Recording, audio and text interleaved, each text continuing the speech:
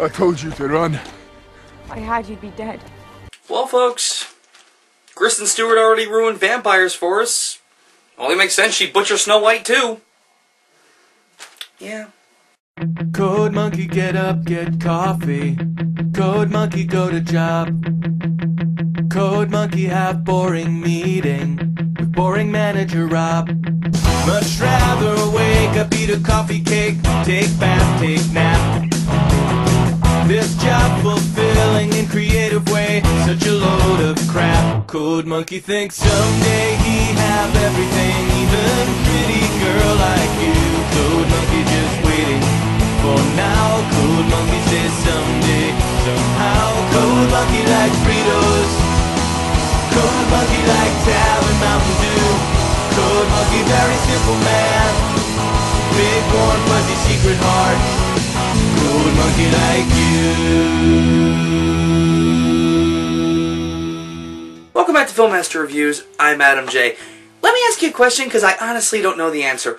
What the hell is with all these modernizations of classic fairy tales recently? Red Riding Hood, Mirror Mirror, Beastly. Hell, I just saw a trailer for a movie called Jack the Giant Killer. Uh, I mean, seriously, is there no end to this? Well, apparently not, because now we have the second Snow White film of the year, Snow White and the Huntsman. And while it's considerably better than the other Julia Roberts abortion that was Mirror Mirror, it's still not good.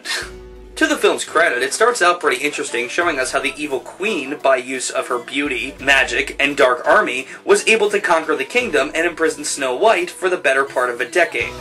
That was cool, but after that, the plot got too muddled and too boring very quick. The evil queen hires a huntsman to chase after Snow White when she finally escapes. You see, the queen's magic mirror tells her that Snow White is the fairest of them all, and will surpass her in beauty. And if the queen wants to remain young forever, all she has to do is consume Snow White's heart. Yeah, okay, yeah, that's pretty dark, I'll give the film that. But here's a question that's just been bugging the shit out of me. Here goes. In what sick, twisted, bullshit reality is Kristen Stewart hotter than Charlize Theron? No! No! Th- th- no! That does not work. Charlize Theron is gorgeous. Kristen Stewart looks like an anorexic with Down syndrome. But I digress. When the huntsman finds Snow White, we get bickering back and forth, and if you think this is going anywhere, you'd be wrong, because they don't end up together. Snow White's childhood friend, William, just randomly finds her and just happens to recognize her after 12 years of separation. It happens! But believe it or not, this character isn't a Prince Charming either. He doesn't get with Snow White in the end, he doesn't marry her. It's all very confusing and stupid. Okay, first off, let me just talk about the good things that this movie has to offer. First and foremost, Charlize Theron as the evil queen Ravenna. She was brilliant in this role, breathing fresh life into her character and, well, stealing the life out of the other characters. I loved her outbursts, I loved her manipulative personality, and overall, I just loved how batshit insane she was. The film gives us a backstory to the Queen that actually put the character in perspective, but it's only in one scene and it's never brought up again. Regardless though, while I felt the film as a whole wasn't good, if it's remembered for anything, it should be for this performance. The film also does a nice job with the dwarves. They were funny, interesting, and all had their own distinct personalities, which I was happy with. They were also played by big name actors Ray Winstone, Bob Hoskins, Ian McShane, Nick Frost. I mean, the casting for the dwarves was great, and all the actors did a great job. And I have to commend the effects department for making these actors look like actual dwarves. It intrigues me how they were able to pull off that effect. All I'm saying is it couldn't have been easy. But for me, the good stuff just stops there. Kristen Stewart is just as bland and boring as ever playing Snow White. She just delivers the same old Bella Swan performance. There's no difference. Then, in the last 30 minutes, when she assembles an army to go after the Queen, they try to turn her into a badass by having her pretty much recite the Keira Knightley speech from At World's End. It was like the director finally just decided to walk on screen and say, Kristen, listen, um, I know you're not used to acting, but you have to do some acting in this movie, okay? We, we, we don't need another bashing from critics like your fucking Twilight movies got. I mean, they were horrible, but we're trying to make something good here. Fucking act. While it did get a little better, I'm sorry, you have to earn the right to be a badass. You can't give your stoic, boring Bella Swan performance in the first two thirds of the film and then decide to finally, you know, perform in the final act. When you do that, it just feels forced upon the audience. Now on to Chris Hemsworth as the huntsman. Okay, he's not bad on this. Uh, in fact, he's actually quite good. My problem is, he's just playing Thor again.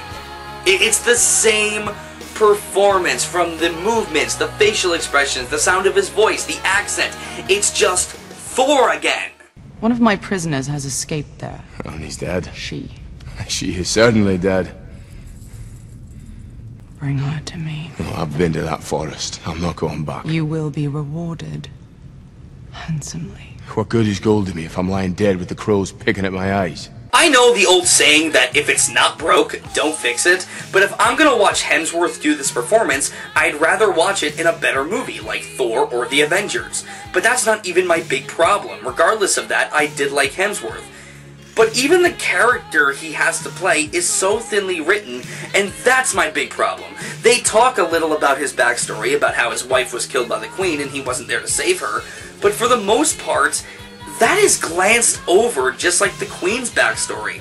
There's not much detail and therefore not much reason for me to care. And believe me, I did want to care. In fact, you know what? I wanted to care about Snow White too. Why? Oh, gee. It could be because the title of the film is Snow White and the Huntsman. And yet more detail, love, and attention is given to the Queen, the Dwarves, and the effects than it is to these two. You might as well have called this film Ravenna and the Seven Dwarves. The effects for the most part are nice, and I do applaud the effects team. You can tell when creating the creatures, like the troll on the bridge, the animators were taking inspiration from Pan's Labyrinth. Which is fine.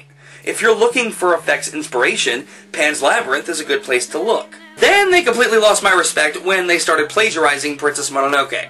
Not kidding. Snow White enters a place called Sanctuary in the film, where she is greeted by a huge deer with huge ass antlers on its head. It went from a nice homage to straight up plagiarism within a matter of seconds, and it really annoyed me. It's one thing to take inspiration, it's another thing to just steal an idea.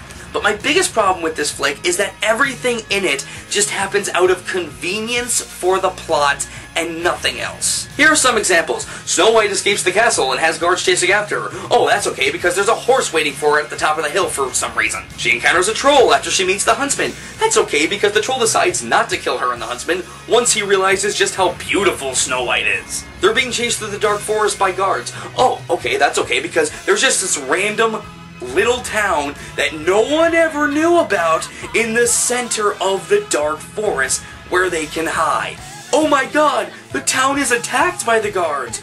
Oh, that's okay because the huntsman who left earlier for no reason has a change of heart and comes back to help everybody. And that pattern literally just repeats over and over again throughout the entire flick and it gets really tedious really fast. Overall, despite a good performance from Charlize Theron and some nice effects, Snow White and the Huntsman has very little to offer its audience in both the story and character department, and falls too flat too quick. Snow White and the Huntsman are thinly written characters, and the story is one convenient and contrived thing after another. I'm giving Snow White and the Huntsman two and a half out of five stars. If you have any ambition to see it, just wait, it'll be on Netflix in like two months. Listen, people, it may be better than Mirror Mirror, but that doesn't make it good, okay? Save your damn money for something better. Like buying John Carter on DVD. Okay, you know what? I- I'm, I'm done talking about that now. This is Filmmaster Reviews. I'm Adam J.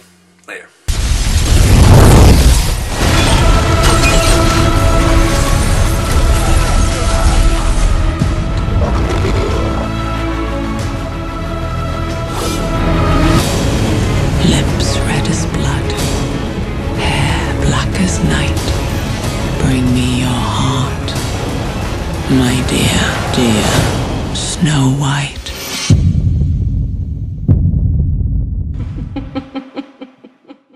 Do not bring that trash up in here, motherfucker. This is my house. Take your stinking paws off me, you damn dirty ape!